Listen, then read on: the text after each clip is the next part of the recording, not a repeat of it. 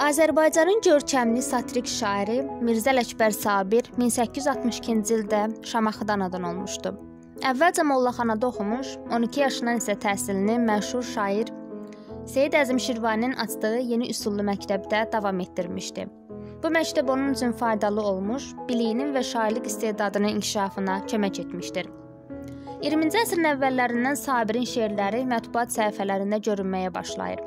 1906-cı ildə Molla Nəsrəddin jurnalına öz arzularına müvafiq uyğun bir dərgi kimi qarşılayıb, onun ən fəal müəlliflərindən biri olur. Həmin vaxtdan Cəlil Məmmədquluzadə ilə Sabir arasında qırılmaz dostluq münasibətləri yarandı. Hər iki sənətkar zalım bəyləri, yaltaq ruhaniləri, satqın ziyalıları satir atəşinə tutur, onlara hədə qorxu gəlirlər.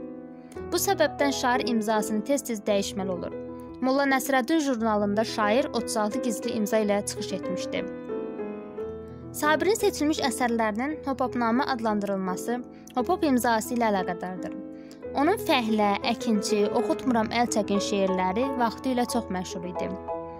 Sabir çox sevdiyi uşaqlar da yaddan çıxarmamış, onlar üçün Gəl-gəl ayaz günləri, Uşaq və buz, Yalançı çoban və digər şeirləri yazmışdı. 1910-cu ilin əvvəllərində Bakıya gələn Sabir Zəmbir jurnalında, Günəş və Həqiqət qəzetlərində işləyir. Elə həmin ilin axırında xəstəliyi səbəbindən geriyə Şamaxıya qayıdır. Böyük şair 1911-ci il iyulun 12-sində vəfat edir. Məzarı Şamaxıda 7 günbəz qəbirstanlığındadır.